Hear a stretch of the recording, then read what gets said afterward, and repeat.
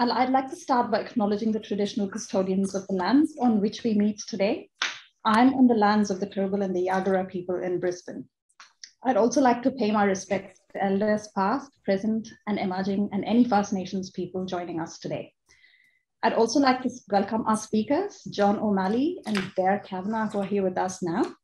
Our CEO, Amy McQueen, will be joining us at 11.30 as she's finishing up another appointment.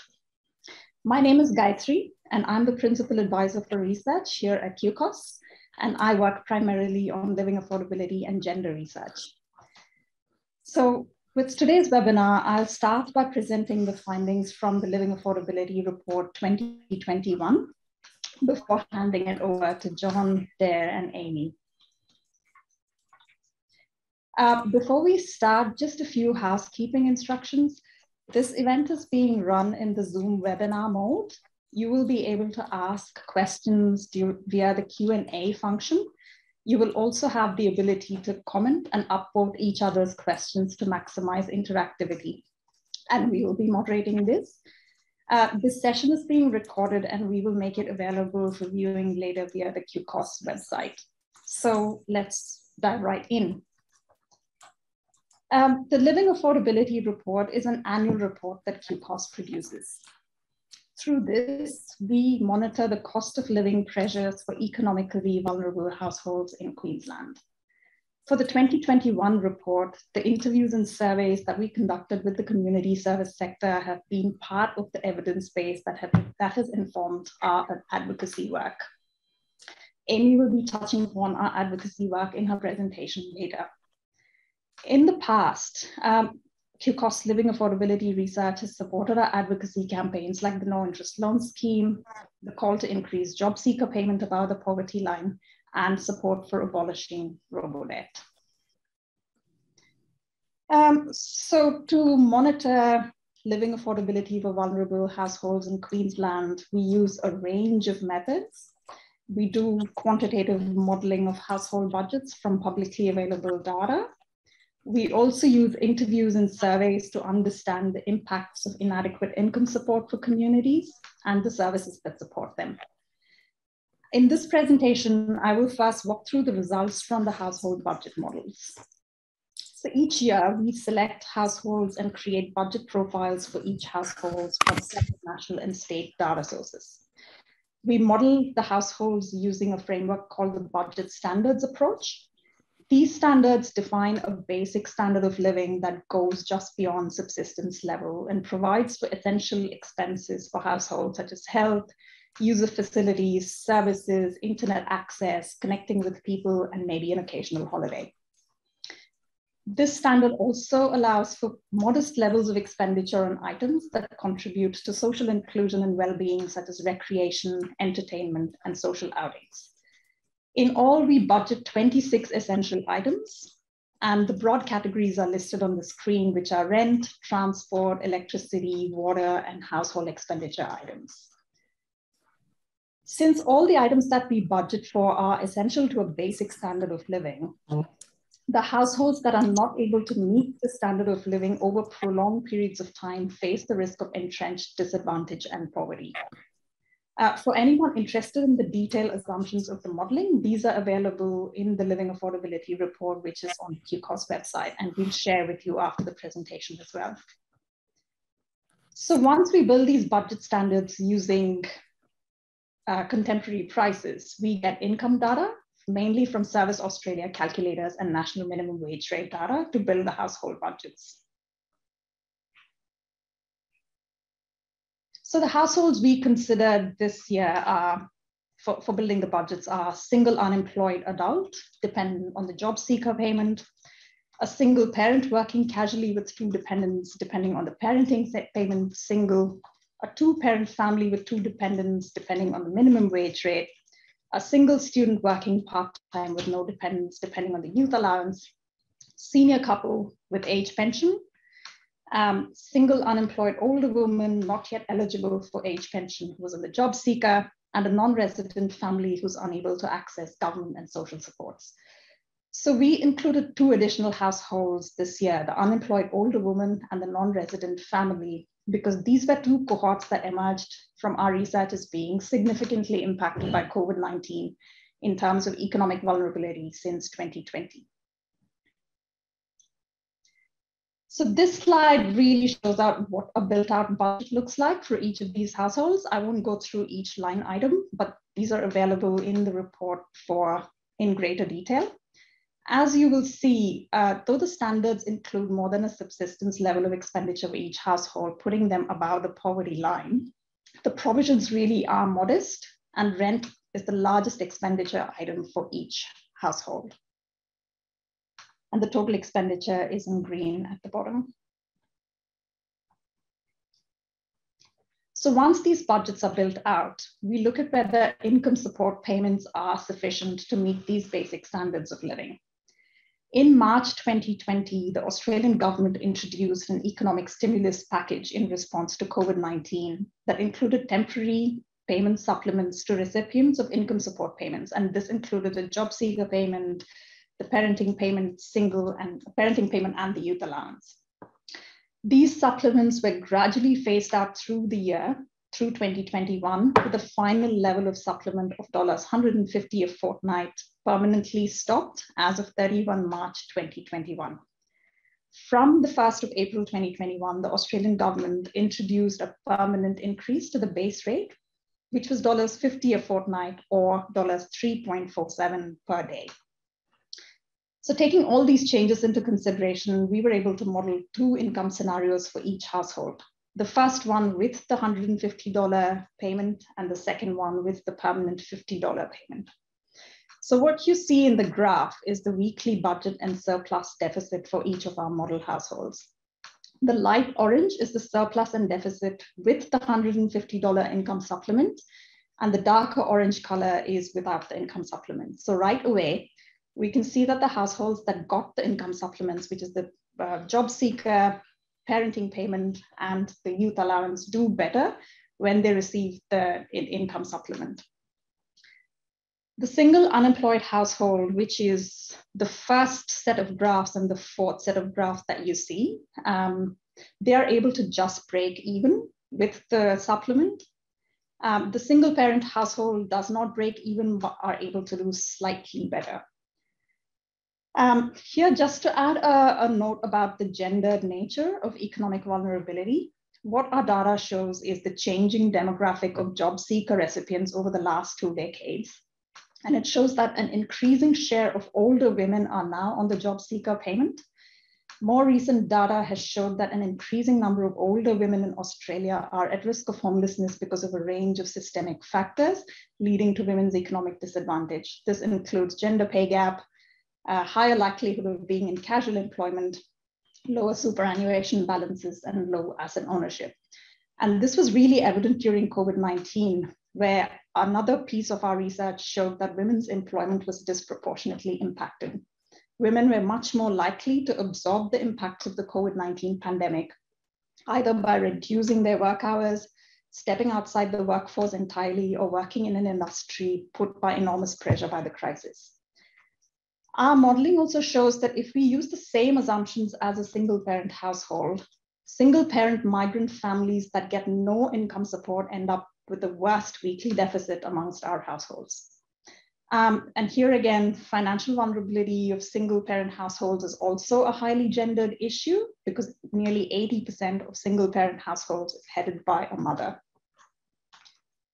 Um, with a working family, where one adult earns minimum wages and the other works casually, uh, this family is unable to meet our, our living standard, even though wages are the main source of income, putting them into the working poor category. Um, I'm, I'm, this, I'm not showing this in the graph here, but we used RTA regional rental data and extrapolated all these findings to regional Australia. And we see similar patterns for uh, our household, our model households across the state. So um, that was the first part of our research, which was updating the household, the hypothetical household models with 2021 data. So further to this, we also wanted to ground truth these findings. So what does this really look like? What do the impacts look like in Queensland communities? So we designed the living affordability survey and did interviews with frontline staff, including financial counselors, NILS workers, emergency relief workers in Queensland to understand what these impacts were. We received nearly 100 survey responses and followed them up with in-depth interviews with community sector staff. So when respondents were asked what the most significant impacts of inadequate incomes was in their communities, 85% reported the inability to cope with unplanned expenses, 78% said it was the inability to pay regular bills, and 70% reported the inability to afford essentials like food, clothing, housing, medicines, and transport. So this is in line with the findings from our budget models that these households are not able to meet basic living expenses and definitely don't have anything left to save or have any room for unplanned expenses. Moreover, nearly 70% of our respondents said that mental health and anxiety caused by financial hardship was of significant concern to their clients. Other issues included high indebtedness caused by buy now, pay later schemes. So we had some themes that come up again and again when we spoke to uh, community sector staff. The first among them being housing stress being the biggest issue for households that are dependent on income support. And this can be seen in our models as well, because rent is more than 30% of weekly household expenditure for most of our model households, which is the definition for house, housing stress. We heard this across Queensland, not just with our living affordability work, but with all our town hall and member engagements across the state. Secondly, we heard that this hardship is not just a one-off occurrence, people depending on income support payments are having to constantly make choices between paying rent and other essentials like food. This can have significant impacts on mental health and people's ability to participate in social and economic life. We also heard that unplanned expenses can cause huge setbacks and indebtedness. Like one respondent told us, yeah, life happens and it happens all the time.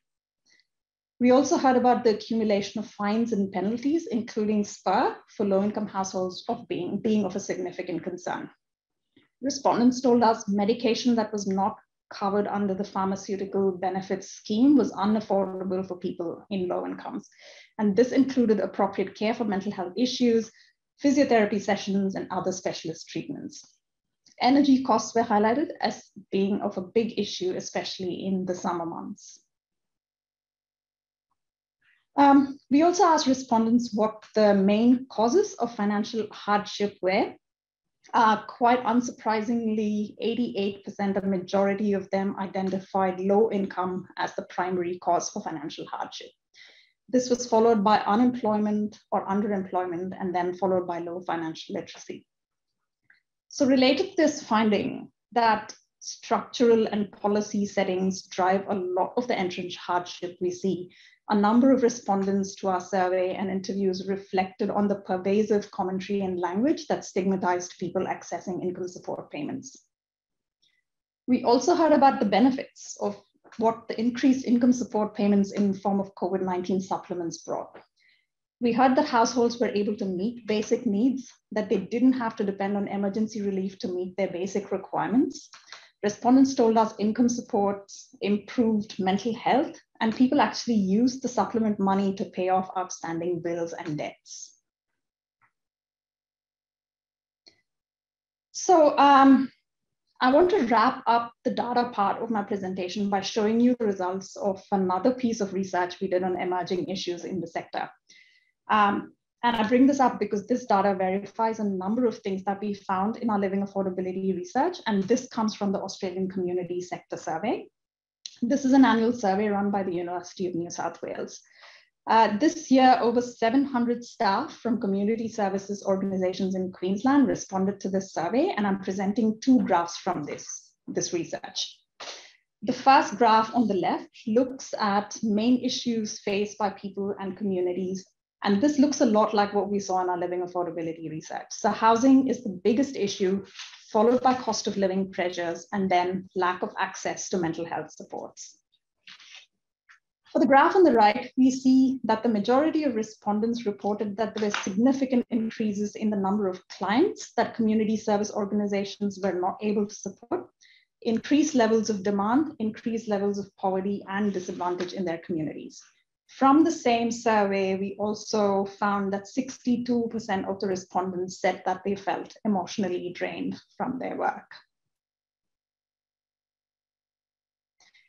Uh, to wrap up, um, here are some of the key uh, areas that we touched on, our recommendations in the report. The first one is to ensure that a basic standard of living can be met by all Queensland households by raising the rate of income support payments. Second, improve, to improve energy affordability and reduce energy vulnerability for low income households. Third, protect households experiencing vulnerability from high cost and risky sources, including payday loans, consumer leases, and buy now, pay later schemes. Four, protect individuals experiencing vulnerability from accumulated fines and penalties that are unduly onerous and contribute to deepening financial hardship. And lastly, ensure policies and programs address gender equality and promote equal opportunities for all. So I, I will stop there. Um, I think we might have a few minutes for, for questions before we move on to there.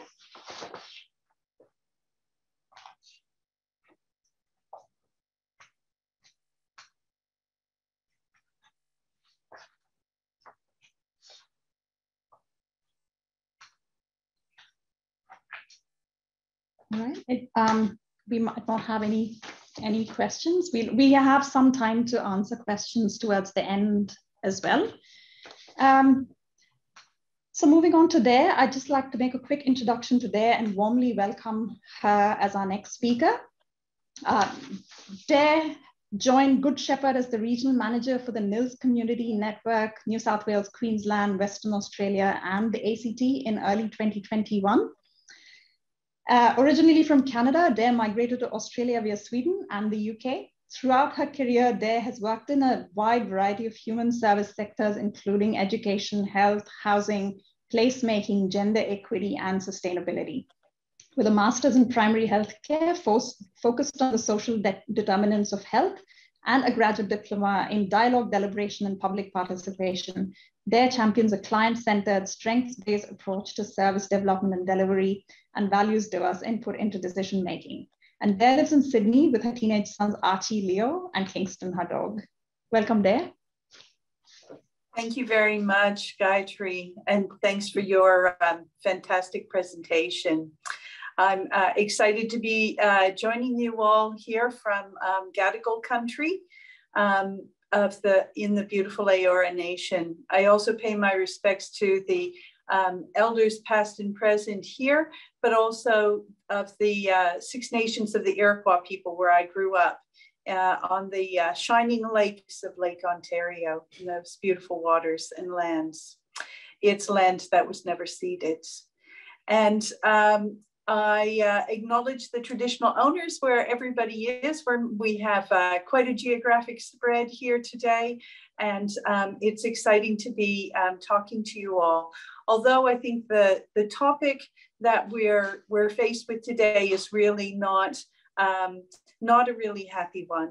Uh, I'm not surprised, Gayatri, at Good Shepherd, we experienced the same thing when you said that people used the uh, additional COVID payments to help um, pay off debts. It was um, fabulous to see um, the number of people who uh, had previously been taking advantage of no interest loans um, to help with some of that bill shock or with the, um, the unexpected um, uh, expenses, um, pay those off very happily when they actually had enough money in their pocket. And I think to me that comes down to a bit of um, where are we all at and what are the key issues that are facing us?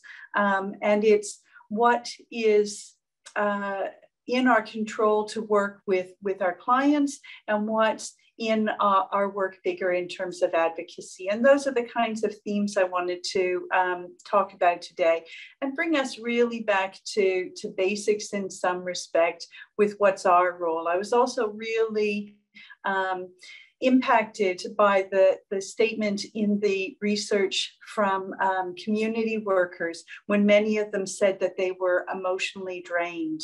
And um, I think we're hearing a lot about um, the nurses, we're hearing a lot about care workers, and I think as community workers, community development workers, we're not as much in the limelight, we're a bit more in the uh, a bit backstage in a lot of respects. And I think that acknowledging the impact that this last couple of years, particularly in Queensland in these last few months, um, has had on, um, on our, our workforce and our colleagues. So if you go to the next slide for me, please, Maria. Um, it was really thinking about what's our, our uh, approach here? What is the, the basic cornerstones to our approach in terms of community development? And these are at the heart of Good Shepherd and at the heart of the practice, I'm sure, for most of us here empowerment, human rights, uh, self determination, collective action, and really thinking about that in a social justice context. So, if we're thinking about those principles in response to what we've just heard that our communities are facing? What's the action that we can all bring as community workers? And what's the action that Good Shepherd is leading? If you want to go to the next slide for me, I think if we look at that again, absolutely basic community development 101 we're, we're, we're looking across the spectrum from the individual person their family and household, the community that surrounds them, and the bigger society. And I think all of us know where, where we may have in our practice a real sense of a, a niche about um, which um, uh, of those aspects appear is the one that really speaks to us um, and where we want to put our energy at a given time. It's working across that whole um, paradigm that really where we can make an impact. Now, I've just gotten an, um, uh, an announcement on my phone that it's uh, going on to low battery. So if I fall out, I'll join you from my, my laptop. But um, if we move on to the next slide, that'll help me move a bit more quickly so I don't drop out in the middle.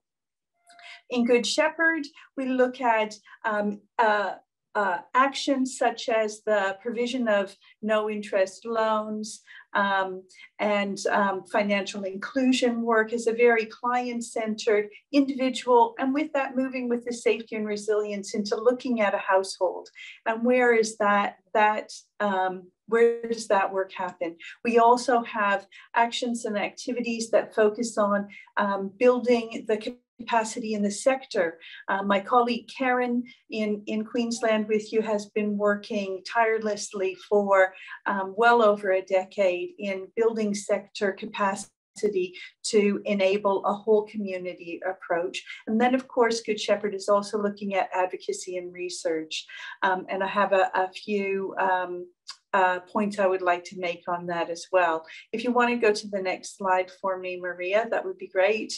Um, the um, the um, financial inclusion and resilience is the part of Good Shepherd that um, I'm working in, and really it's it's also looking at that spectrum, as I pointed out in the previous um, diagram. It's uh, through our, uh, our programs, we span quite a range of different approaches that uh, we can almost use some of the same words for all of them, but certainly the community network providing no interest loans gives a breadth across the state that really can respond, doesn't respond to every single issue that was raised, but when we see that people saying inadequate income to be able to meet unexpected expenses, that's uh, central to what the no interest loan was set up for. And many community organizations sort of took that idea and ran with it across um, the whole length and breadth of Queensland. And then in thinking more about that, um, and how we could uh, deepen the work that we were using, establishing the two good money stores, one in the north and one in the south, that can be centers of excellence and really focus on um, how can we go deeper and learn more just about the financial part, whereas the NILS Community Network sees that financial resilience as part of the the whole range of services that can be provided for example, by our friends at St. Vincent de Paul that provide a range of services, meals being one portion of it. In the Good Money Store, they're focusing on the loan and providing that um, financial support, financial conversation around that. Um, people may be aware that Good Shepherd is also delivering um, the Financial Independence Hub and um, financial uh, family and domestic violence no interest loans centrally. And those are add on services that um, organizations and community workers that are focused on supporting people who have experienced family and domestic violence, they can access these without having to themselves be a fully fledged NILS provider. These are uh, additional services that provide that. We also, in terms of our work to um, help give some backbone to the financial inclusion, have um, major partnerships, three of which are really central to the work we do in Queensland. Our partnership with, with DSS, through the uh, our work with them, we're able to put more than a million dollars, almost a million, almost 1.3 million dollars into um, Queensland community workers. Um, uh, sector to be able to provide for some of the no interest loans.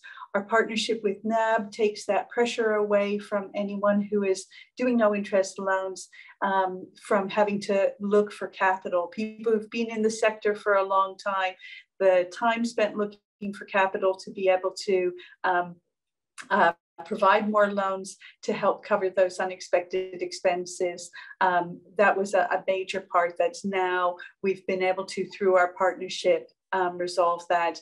And in Queensland, more than anywhere else in the country, um, we see low income households taking advantage of the partnership that we have with the good guys to be able to get um, lower cost items delivered for free um, and have the old items removed and the difference that that makes in people's lives.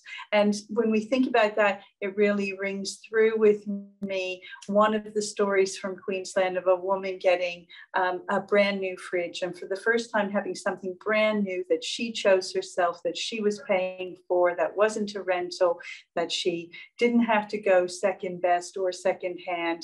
And um, the pride pride that she had in being able to do that and pay that off, and where that in itself helps to um, combat some of the uh, mental health impacts of um, struggling day to day on a low income. And then, of course, I want to uh, introduce just briefly here that over the coming months, people will hear more about the financial resilience pilot program that the Queensland government has asked Good Shepherd to work together with our friends at uh, Neighbourhood Centres Queensland to be able to deliver.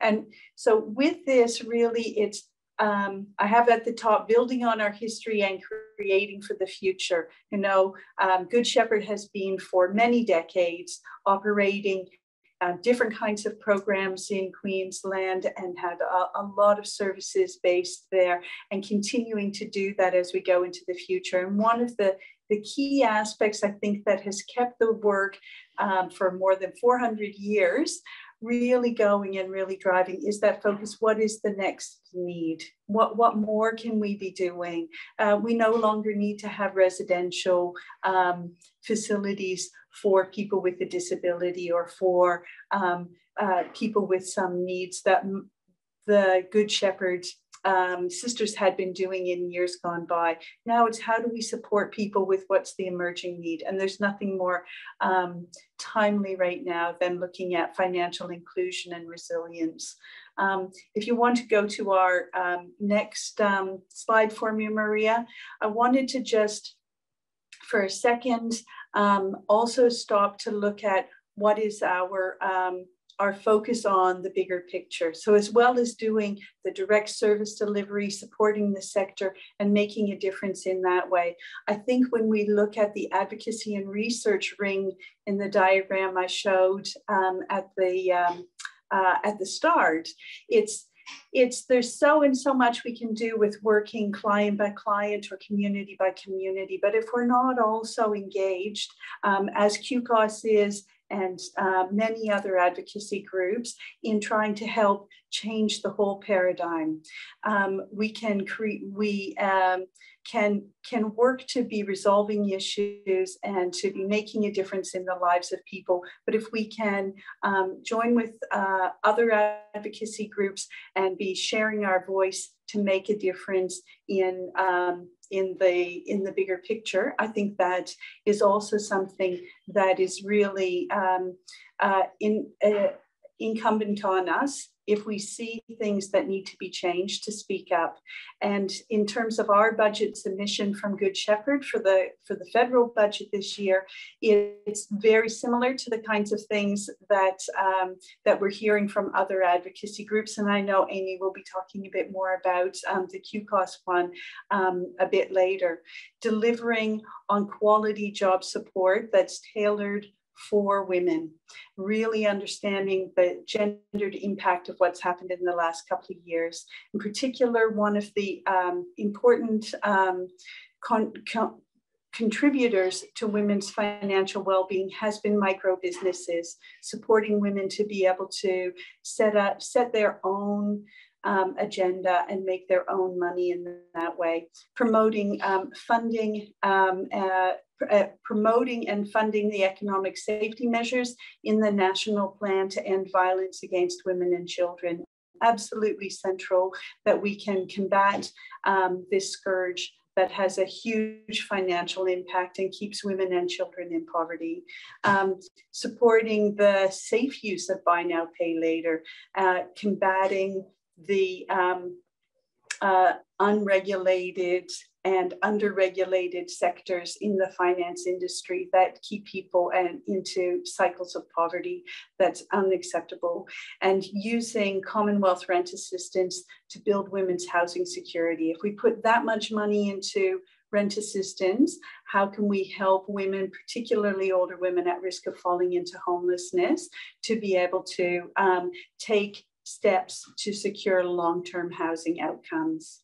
And I think so for me, thinking about what are we doing with the individual and communities? What are we doing in, uh, and here's an example, shaping things for the future. But I think if we go to the next slide, one of the things I also really wanted to say is what are we doing to support ourselves in, um, as we work in this important work making a difference. One of my favorite quotes is that, uh, again, a very good community development um, quote, someone is sitting in the shade today because someone planted a tree a long time ago.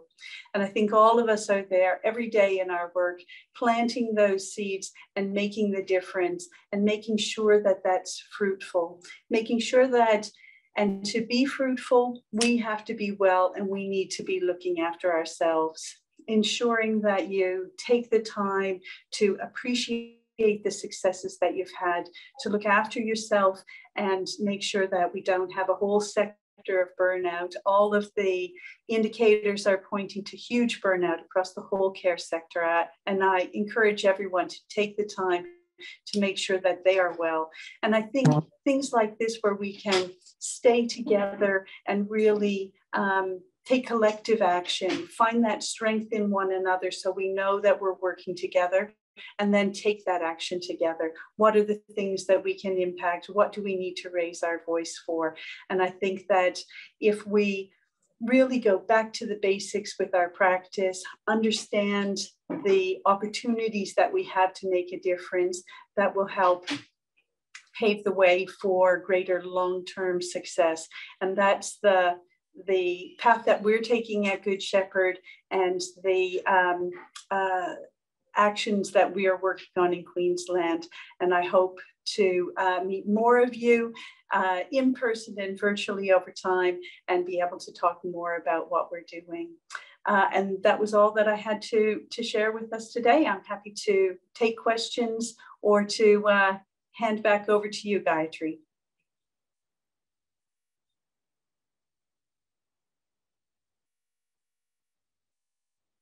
You're still on mute, Gayatri. And if I lose my video, I'm still listening in. yeah.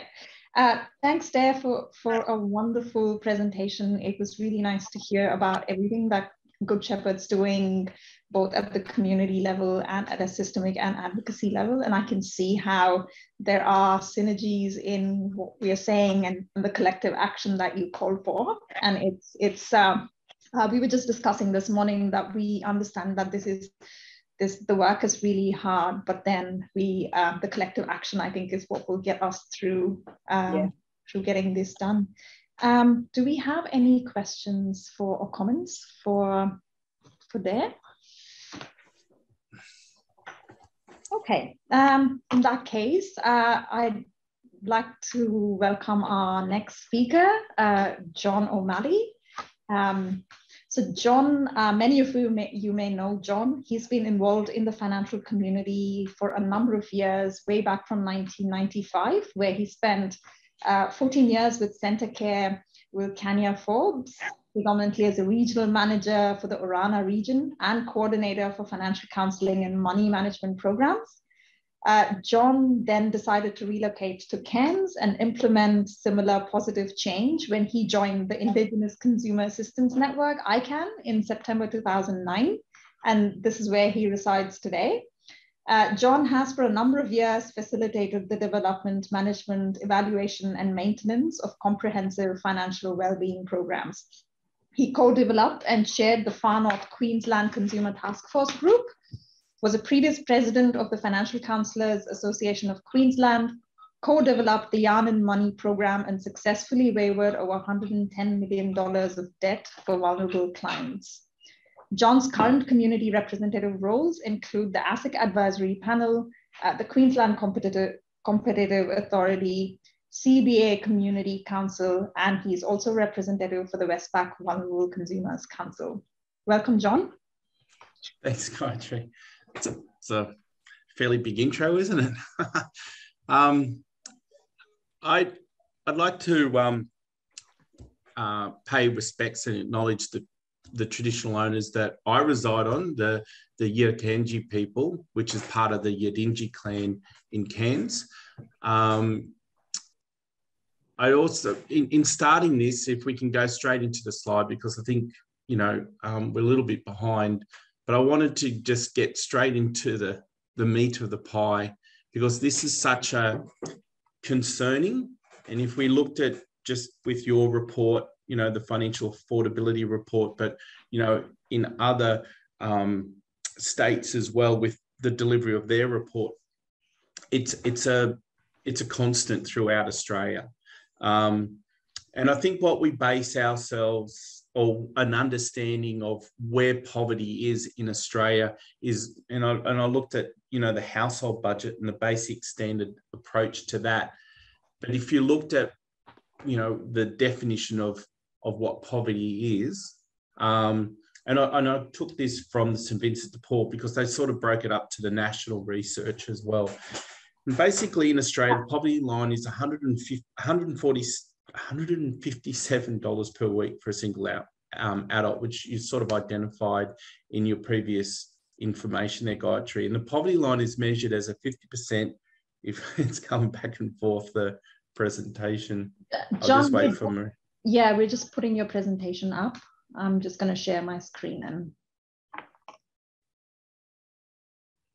but basically while, whilst that presentation is coming up I mean, in, in, in Gayatri's presentation as well, it gives you a, a really clear picture of how um,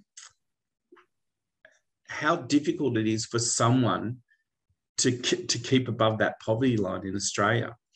And if anything happens um, on an economic front, so to speak, um, and we're seeing that now, and people might think, oh, it's the cost of living. Well, in fact, it's actually the movement or the shift in property prices that is playing a real impact on homelessness at the moment um, across Australia, and we can see that in Queensland. On average, it's about 12 to 13%, but in these, at the moment, we're peaking at 18% a homelessness rate in, in Queensland. Um, and when the GFC came about, uh, in 2008 or 2007, 2008, uh, it saw the same peak. It peaked at about 17%. I think that um, you will see a constant in this peak of homelessness. And that is a reflection of where we sit in regards to poverty as well. So when so you can get a clear indication of I'm sort of setting the scene as to what we do as community workers, but what the government needs to do to respond. Um, and I think the most important thing, and Dare sort of touched on, I saw one of the things, but we we grapple with mainstream social um, responses and viewpoints. And I think this is something that government also struggles with. They can probably see that there's an issue here, but it also comes down to the vote. And unfortunately, mainstream society have different views to, to what our views are um, to people that are vulnerable, um, and which is quite unfortunate.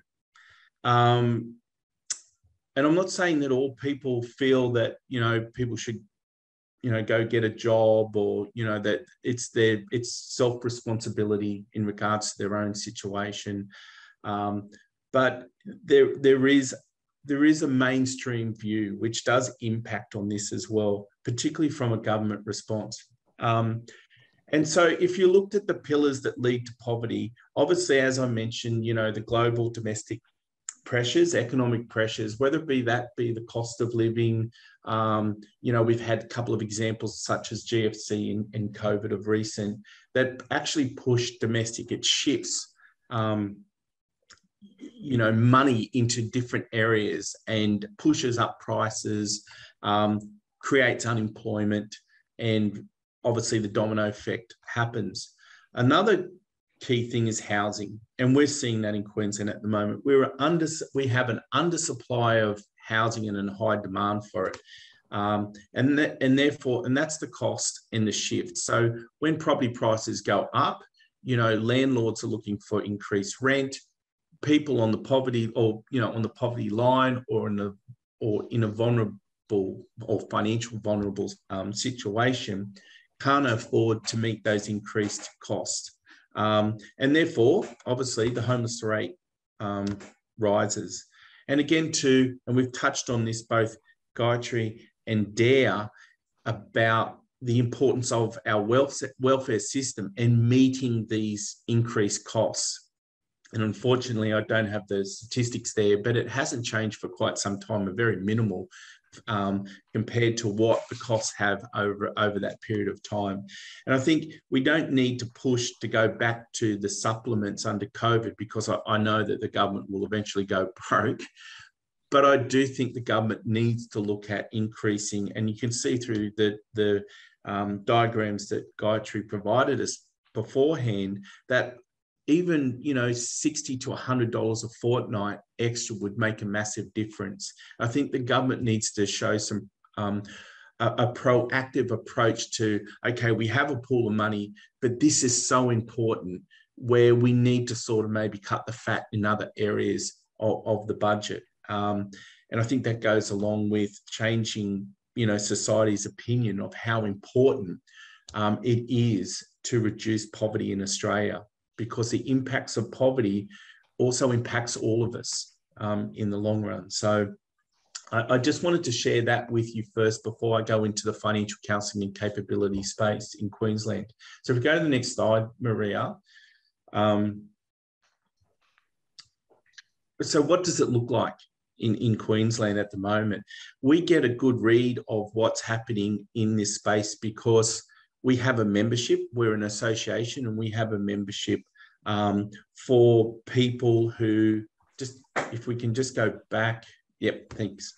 For people who um, provide financial counseling and financial capability work. Now, if you want a capability is really, there's so many names under capability and who who fall under it. Um, I, I, believe NILS workers, I believe um, whether it be re- resilience workers, budget coordinators, budget navigators, you name it, there's a whole suite of people that have a title that come under this space.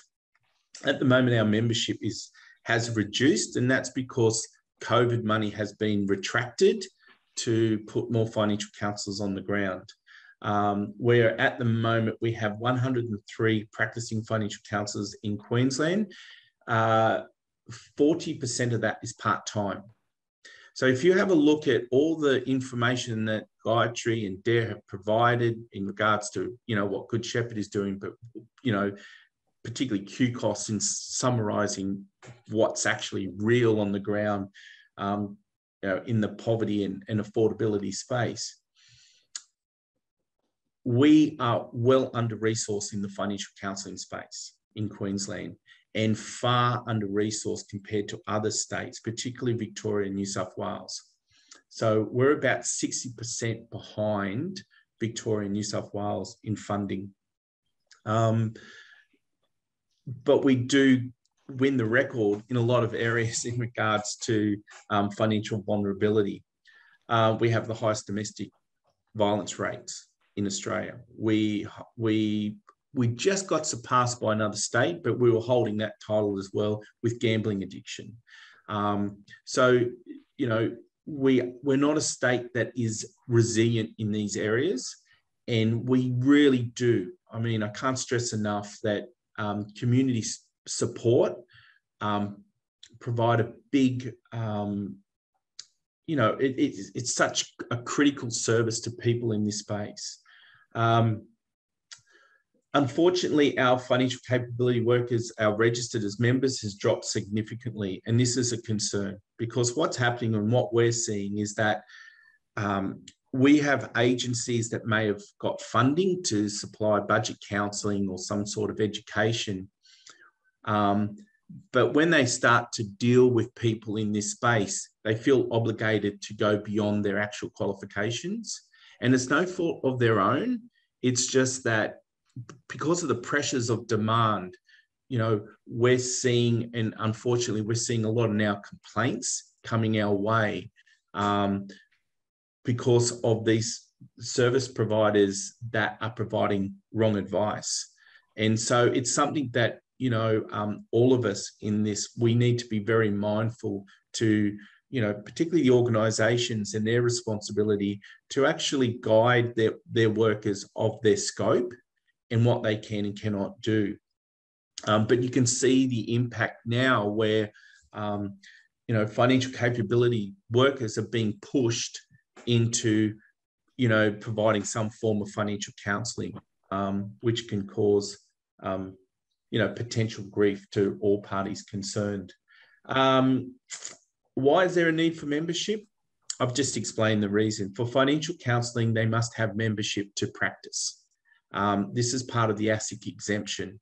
So if any organisations are out there that are you know, that are providing some form of financial counselling, look, please contact us. Um, this is what we're here for. We're here to support. We're not here to be big brother or anything. We're here to support agencies to get equipped to deliver whatever, whether it be a financial capability service or a financial counselling service. Um, and we have staff, good staff, to provide that support. Uh, yes, we're seeing burnout in, in the particularly in the financial counselling space. Um, it's just because demand has gone through the roof. And unfortunately, as we've stated with government, where we had our low demand was when, and this is a good indicator, when we had our low demand was when um, people were receiving um, the job seeker, the increased job seeker support. Our demand actually dropped. And that's a good indicator of, you know, the importance of raising the rate. And we cannot sit here and pass judgment on people that are vulnerable to think that they're not good budgeters. I can tell you now they're the best budgeters going around the planet. They have to be. Um, and I think we need to change our approach in the way that we message budgeting to vulnerable people. And I think that's really important too. Um, I don't think we've got that right, all of us, to be honest with you. Um, I, I, want to go on how important financial counselling is. And yes, I've, you know, Gayatri in the introduction sort of made mention of, you know, I've waived so many millions of dollars for people. Is that, you know, is that a benefit or not? Yeah, in some cases it is, but it isn't the it isn't the core benefit. The core benefit from financial counselling is actually reducing that immediate stress on a person And if you've ever been in a situation where a creditor is pressing you for payments, you know, you are then vulnerable to, to that's when you are exposed to mental health issues. And unfortunately, credit providers, a lot of them don't, uh, they don't take that into account. Mainstream do. I, I must admit, there's been a lot of changes, but when we're talking about payday lenders, it's a whole different ballgame. And when you, you know, when you're talking about the basic standard approach or budgeting approach and you have your living expenses, when you're under that, and we saw the graph that the majority of, of Centrelink recipients were under that um, threshold. So what happens? You can't have a budget. There's no way you, you can have the best budget on earth, but if you're under, if you're under, you're under. So there's going to be two um, scenarios in that space. One is it looks at the biggest expense, and, and Gayatri mentioned rent is the biggest expense. And when it goes up and you can't afford it, it usually means that then people are a real risk of losing their home and they become homeless. Homeless. The, the second is that they will try and fill the gap. So that gap area is where the existence of payday lenders and buy now, pay later products come into play. And we see it because we've seen the abs- absolute explosion of these types of um, credit products. Um, and no, men, no regulation is, um, unfortunately, no regulation is going to stop it because once you once ASIC pulls out one, another 20 takes its place. Um, this is and until government invest in in in the regulator to actually um, stop more of this type of behavior and put a footprint on saying enough's enough, then we're going to see this happen more, time and time again. Once Cigno goes, and it eventually will go, there'll be another player come come in to take its place. Um, so again, when we talk about advocacy, we need to really remind government that there needs to be investment right along the you know the the platform to be able to eradicate you know poor lending um, poor lending providers. Um, so let's if we move on to the to the next slide.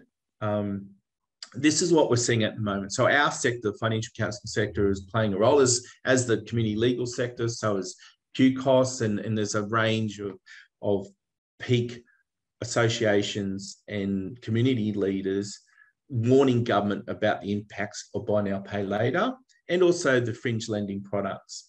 Um, since the onset of COVID 19, members have been telling us that they're seeing clients with more complex associated with mental health domestic violence, gambling, housing stress, and they are seeing greater numbers of people experiencing financial hardship through irregular incomes, more unaffordable debt through excessive late fees and poor industry hardship practices. So I've just sort of explained all of that.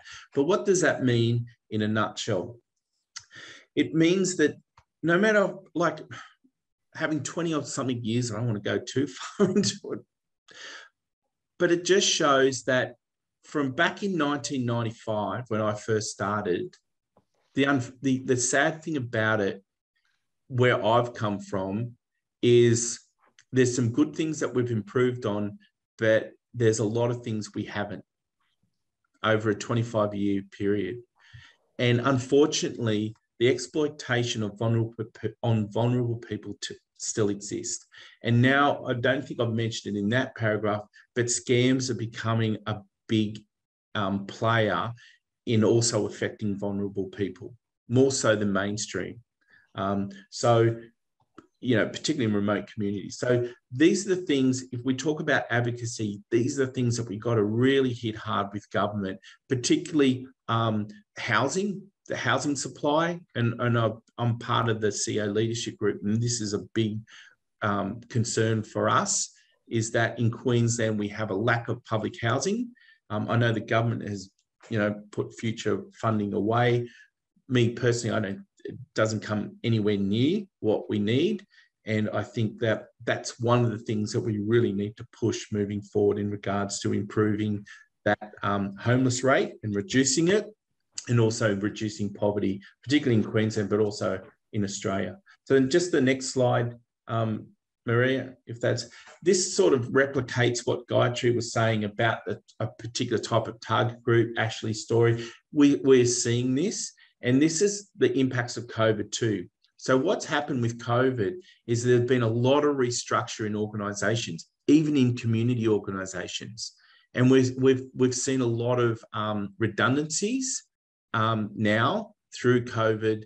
Uh, and what, what's that done is that it's, you know, people in this age group, you know, whether, and predominantly single um, uh, women um, are being either pushed down to a lower income bracket or being forced into you know full Centrelink payments. And and I think with this particular case study, it sort of highlights the importance of working as a coordinated group in our sector.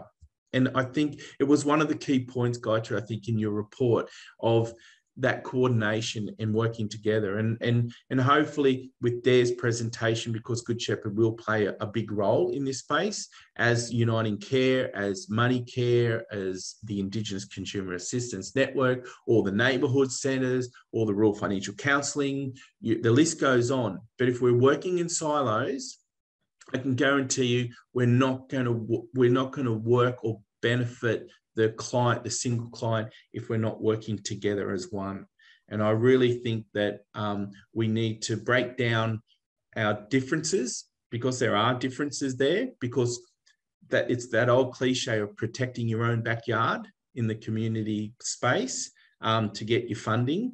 But if we're uh, if we're genuine about helping a person that is vulnerable and needing us help, and the only way that they get that help is a combined effort, then this is what we need to focus on. If if we, you know, get rid of all the boutique nice little words and here and there and what this is what we do really nicely and this is this is our backyard you know we we need to break down this barrier and and I, and I strongly believe that QCOSS should lead it as well as as a lead as a lead um, peak body um, to, to, to break down these barriers.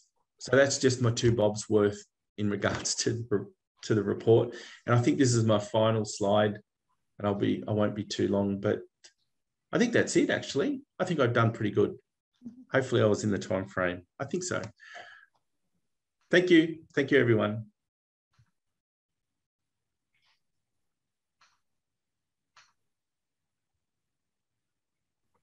Thanks. Thank you, John.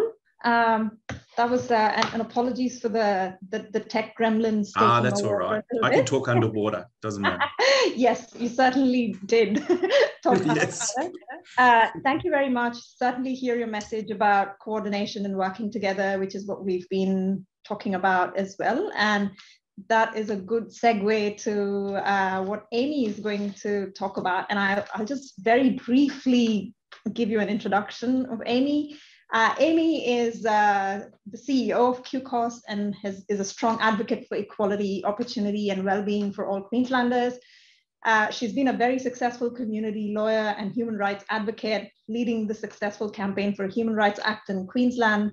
Her work as a lawyer has focused on human rights and discrimination, guardianship, estate planning, child protection, and domestic violence. She's also done uh, worked in various advisory and senior roles, including the Disability Royal Commission, Disability Law Queensland, and Aboriginal and Torres Strait Islander Women's Legal and Advocacy Service. So with that really, really quick introduction, uh, Amy, on to you. Thank you. Thanks so much, Gayatri. And if I could just begin by acknowledging that I'm on the land of the Turrbal and Yagara people and pay my respects to elders past, present and emerging. And can I pay my respects to the traditional owners of all of the lands um, we're all coming from today. It's um, wonderful to see an audience from not just um, across the state, but also um, interstate. Um, can I pay my respects to the traditional owners of all of those lands, as well as any people who are joining us online today, any First Nations people? Um, can I also say thank you so much to Gayatri um, and can I acknowledge the amazing work that our research and advice team does? Um, we are really committed at QCOSS to making sure that the work that we do has a very robust evidence base, and that includes both the things that we choose to focus on as well as the detail of our advocacy work. Um, and um, the research advice um, team does a great work, does a great job of producing that evidence base. And you've seen some demonstration of that um, through the findings of our living affordability report. Um, also, can I just um, thank Dare for giving her presentation and talking about um, what Good Shepherd is doing in relation to living affordability, both in terms of um, service provision, capacity building, and then that really important um, research and advocacy work. I think sort of showing how Good Shepherd is tackling these issues at each um, level um, where we can have an influence. And then, John, um, great to hear from you. Um, your insights about the systemic um, drivers of poverty, as well as um, the really important work that um, the really important work that financial counsellors can do. I also just really wanted to thank you for um, calling out the strengths and capacity of people um, who are on low incomes and really, you know, making sure we're clear about the fact that people reliant on income support. Uh, you know, it's not that they need to learn the skills to budget. There's some systemic issues there um, that are preventing people from being able to make ends meet. And I think that story um, you told, Ashley's story, you know, heartbreaking story that really demonstrates um, the value of proper income and proper social support service so that when people have, and all of us, you know, that story shows us all of us are vulnerable um, to life happening and um, things meaning that we're in a crisis and we do need supports. If we have those supports in place, it really does mean that um, when things happen, we can cushion the crisis and allow people to use their resources, skills, and capacity to also, um, you know, get back on their feet. So, thank you um, to all of you. What I wanted to talk about today was, um, I guess, the advocacy work that QCOSS is doing in relation to um, living affordability and um, particularly over this 12 month period you know i guess um, this the information that Gayatri laid out does demonstrate that there are uh, things that both the federal and state government could do um, to make sure that um, you know we we overcome some of the systemic um, barriers for people to you know, live in li- live lives that are not characterized by um, poverty. So I wanted to sort of um, talk about um, a few things. So if, if you conceptualize some of our advocacy work as having that central theme of um, living affordability and poverty alleviation, And there's some um, key moments um, in our advocacy timeframe in the next 12 months, including the federal budget in March, a federal election uh, most uh, you know expected in May, and then Queensland state budget on the 21st of June. So we've absolutely um, hit the ground running this year in terms of being very focused um, about what we're going to be talking about in connection with each of those things. Um, and eyes on the federal election, we have very clear um, messaging around um, what we would like from our federal government and really our advocacy focuses on income support and housing. So um, everyone has really already um, discussed the need for an adequate level of income support.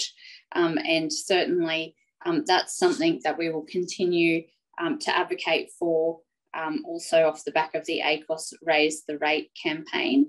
and we are saying that at a minimum, the uh, level of income support should be $69 a day. I think, um, you know, as Gayatri referenced, in 2020, we had this moment in time where we could actually see uh, the difference that raising the rate of income support would make. And our 2020 um, living affordability report painted such a different picture of living affordability in Queensland. We had people being able to um, meet the basics, um, be able to pay their rent, be able to uh, put three meals on the table and pay their electricity bill. And on that, I'd say we also did a piece of um, research with Deloitte through the Energy Council that looked at some data um, that energy retailers had, which clearly demonstrated that through that period, um, people were coming off hardship programs um, and people were paying their bills on time and even paying down debt. So we do know, we do have recent um, evidence to demonstrate what happens when we raise um, the level of income support. And from a human services perspective, John made the case there to say um, also it takes pressure off our social services system, which is an you know an expensive um, system in itself. Um, when people have the money in their pockets to um, make pay you know for the basic things that they need, so that they're not living a life characterized by poverty. The other thing um, that we would be, uh, we will be, and have been very focused on at a federal level is the housing crisis. Um, and so um, it is clear that this housing crisis that we're experiencing here in Queensland can't be solved by the state government alone. Um, it needs a partnership approach from um, the federal and state government working together.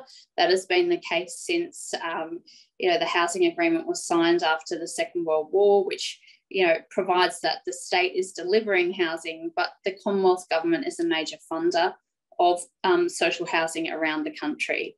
We do need um, a very significant increase into social housing. Uh, we would like the Commonwealth rent assistance to be increased by 50%. And um, it is shocking to see that the um, rental national rental affordability scheme, which is a federal scheme which is subsidising people on low incomes um, so they're able to pay their rent, it will be completely um, phased out by next year. Um, which means that there are potentially going to be another 11,000 households in Queensland added to our social housing register, which already has 50,000 um, people uh, on it, more than um, 50,000 people. And I can, can I emphasize that, yeah, we are in a, in a crisis. That number um, has increased by 80% over the last four years.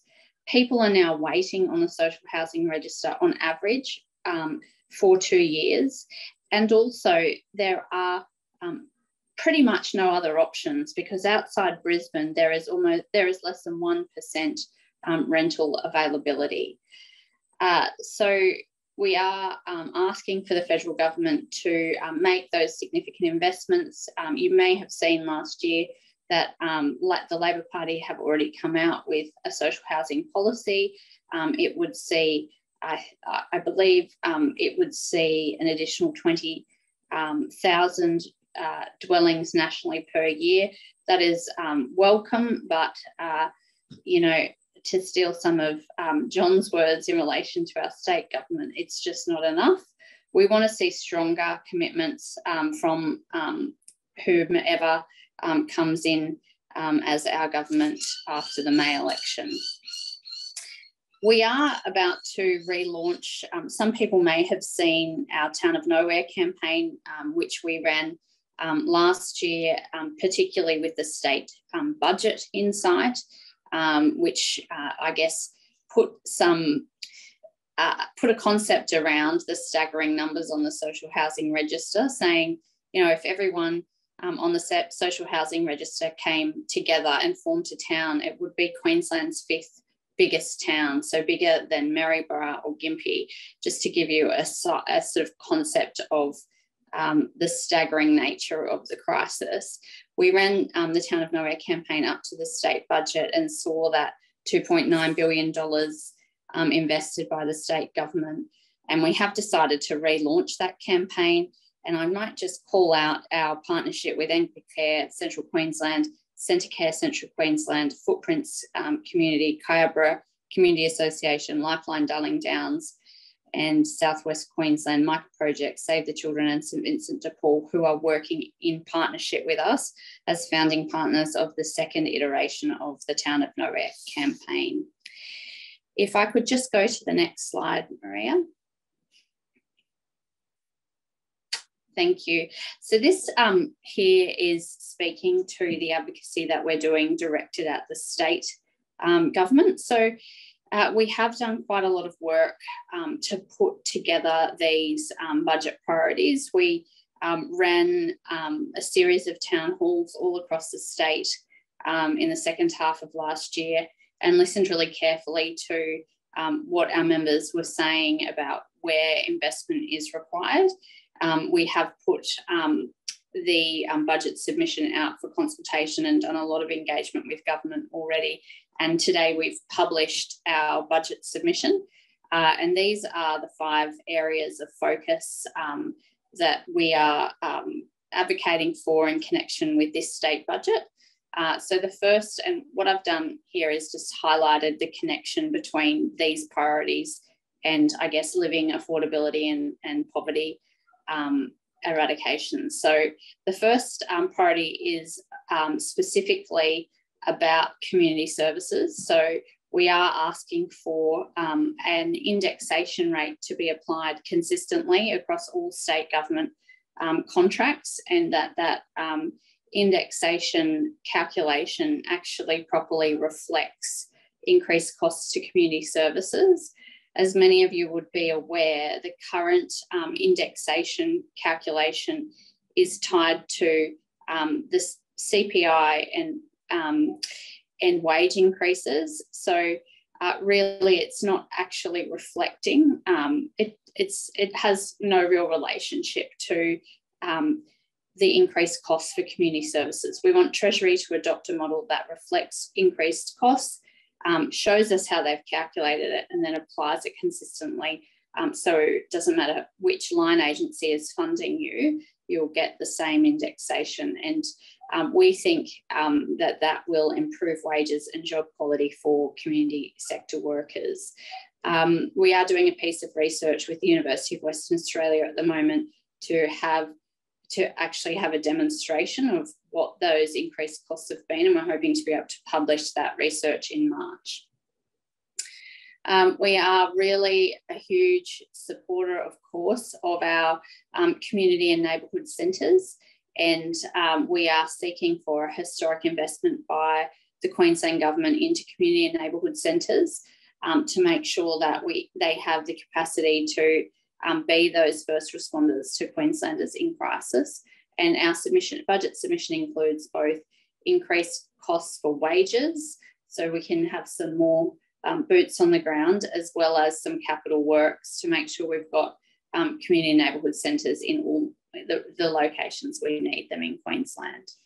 Uh, obviously, we are continuing to um, advocate for uh, further investment into social housing, as well as um, some funding for specific initi uh, initiatives that would um, benefit children who are experiencing homelessness or housing insecurity. Um, you know, this is a real problem in our state.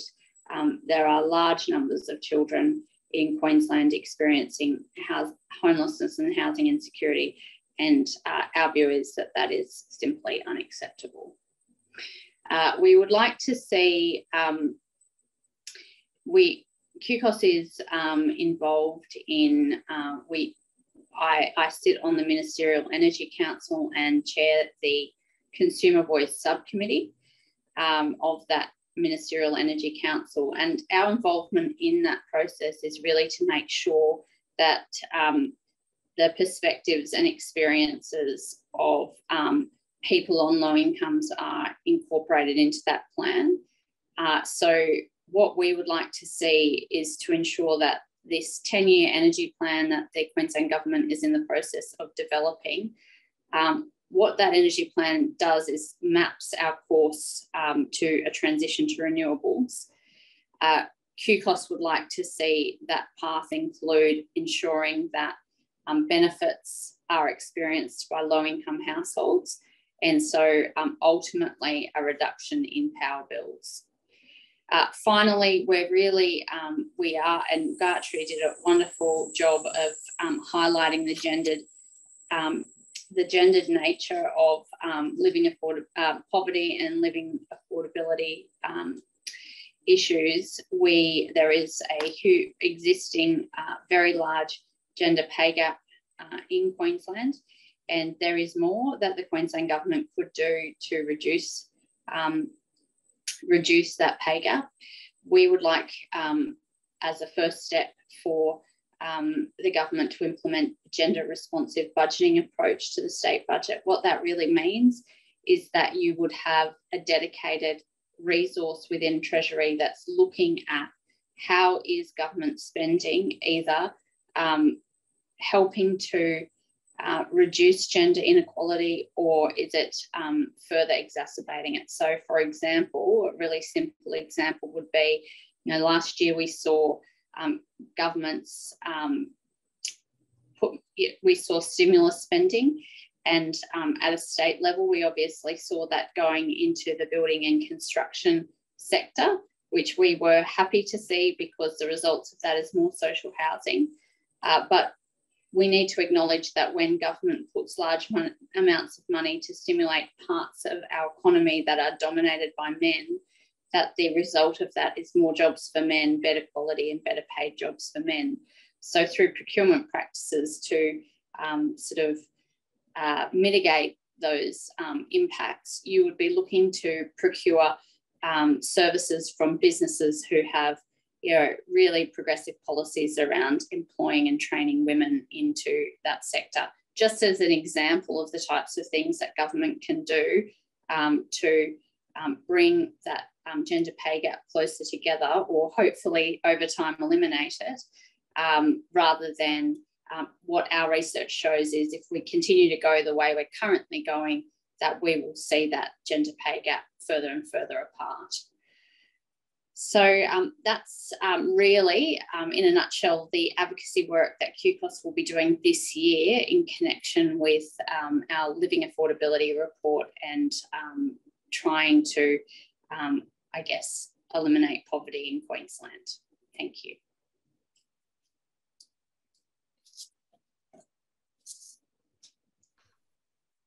Thanks, thanks, Amy. We've got Keely uh, asking a question to everyone. Um, eh, she says, just wondering if there are reflections regarding uh, where our population is currently spread regarding baby boomers 1945 to 1961, leaving large population between 1945, so 75 years to 67 years with increasing numbers each year.